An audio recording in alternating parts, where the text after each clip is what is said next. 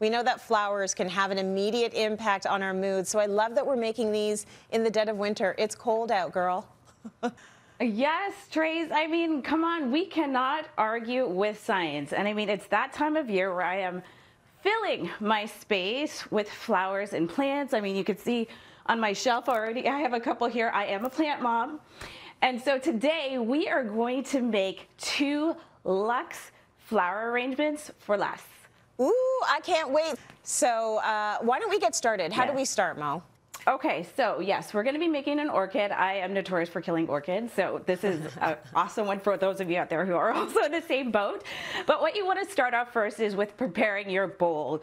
You can use any type of decorative bowl, or you can use a plant pot that you may have sitting around the house.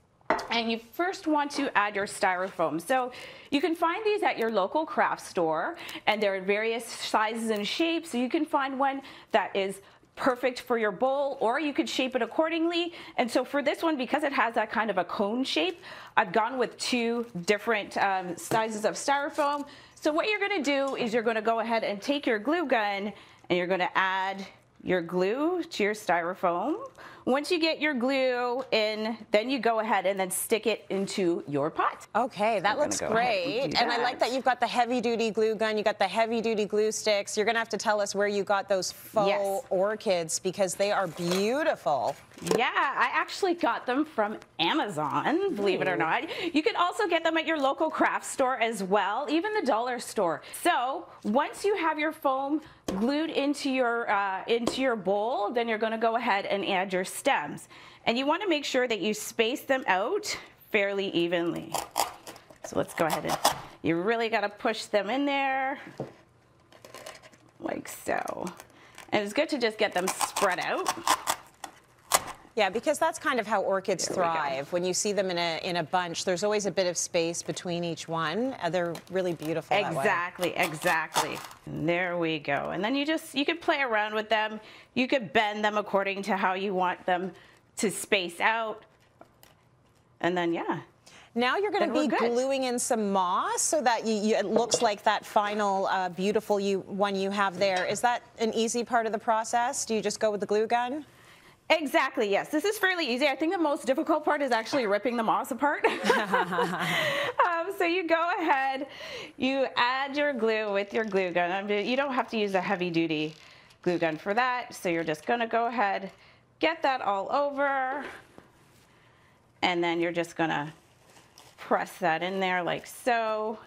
And then you just want to make sure that everything is covered. And that's okay if it shifts around for a bit. Again, you could go ahead and once everything is in there and complete, you can go ahead and adjust accordingly. Really nice little boost to your day to have a, a floral arrangement. And you know it's not going to die because it's all faux. So it'll last you all season long. You can put it away when you want, take it out. Exactly. Move it from room to room, wherever you want to see it. So you've got another project for us. Right. Um, very excited for this one. So this is a luxury rose box arrangement, and I'm just going to Yeah. tell everyone what they need for this while you get all of your items together. You need boxes.